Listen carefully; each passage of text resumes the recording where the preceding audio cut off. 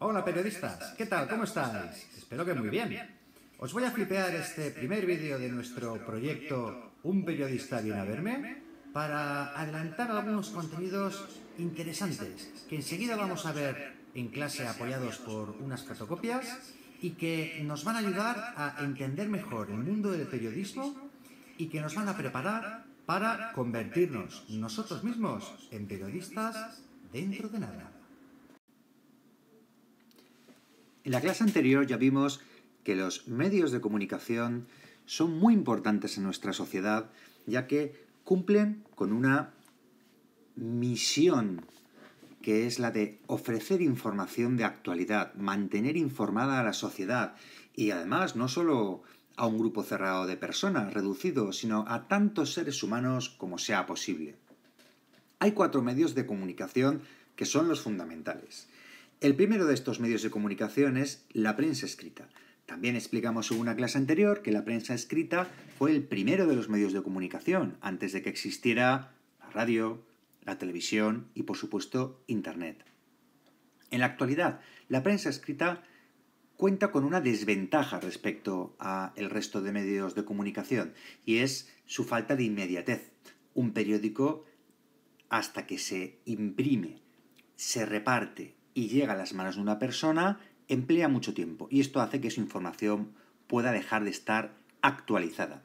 Luego enseguida veremos cómo se ha solucionado este problema en la actualidad. El segundo de los medios de comunicación es la radio. También eh, es antiguo si lo comparamos con la televisión o con Internet. Y goza de una ventaja importante respecto de la prensa escrita. Y es que eh, es inmediato es incluso más inmediato que la televisión. ¿Por qué? Porque solo necesitamos, la radio solo necesita la voz, la voz de un periodista para informar a sus oyentes de aquello que está pasando. Es decir, cualquier suceso ocurra en cualquier parte del mundo, un solo periodista con, pongamos, un teléfono móvil sería capaz de retransmitir en directo lo que está sucediendo.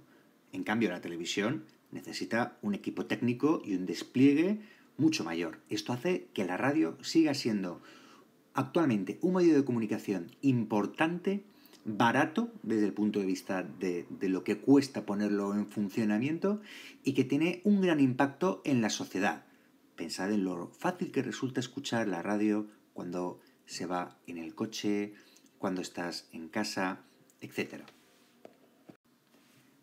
Y sí, es cierto que quizá la televisión no sea el medio de comunicación ahora mismo más inmediato, pero sí que es cierto que la televisión es el medio audiovisual por excelencia. La llamada caja boba o caja tonta es el primero de la historia que combinó sonido con la imagen y desde su aparición, allá por mediados, un poco antes de mediados del siglo XX, es el más popular existiendo a día de hoy millones de personas que ven la televisión a lo largo de muchas horas al día.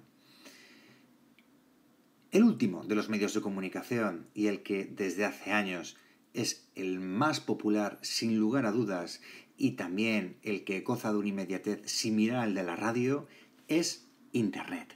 Este medio de comunicación surgió en la década de los 90 a nivel mundial y en cuestión de pocos años su popularidad es igual o superior a la de la televisión, porque si bien en las generaciones mayores es cierto que se consume más televisión, en las nuevas generaciones, vosotros os podéis considerar de estas nuevas generaciones, la gente pasa tanto o más tiempo conectada a Internet que a la televisión, ya que Internet ofrece mucha información, ocio, entretenimiento, redes sociales y desde luego es el medio quizá más completo para informar, ya que es capaz de combinar texto, imágenes, sonidos, cogiendo, combinando de este modo lo mejor de la prensa escrita, de la radio o de la televisión.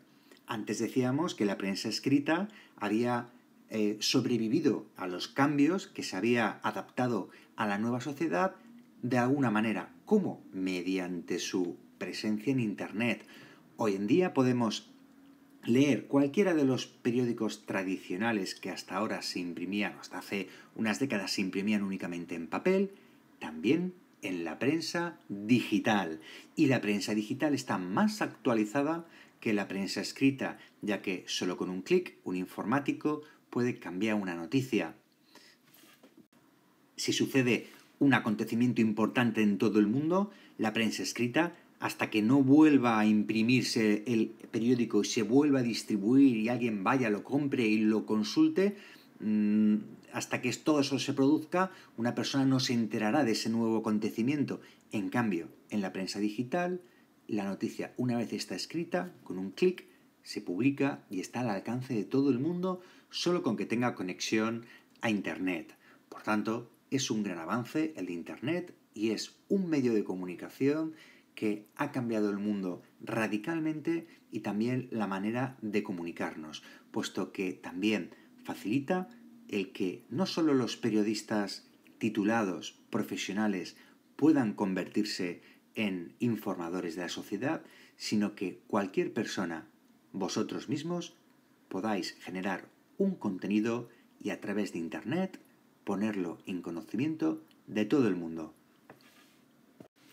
En la próxima clase, dado que ya hemos explicado este contenido, por grupos leeréis eh, este, estas fotocopias, estas tres hojas que acabamos de proyectar en este vídeo, y haréis las cinco actividades que estáis viendo ahora mismo, estas cuatro junto con la de la página anterior, y para aquellos que podáis estar más interesados eh, en el tema y que os pueda interesar profundizar, os recomiendo que hagáis clic en el enlace que tenéis ahí abajo y que es muy interesante.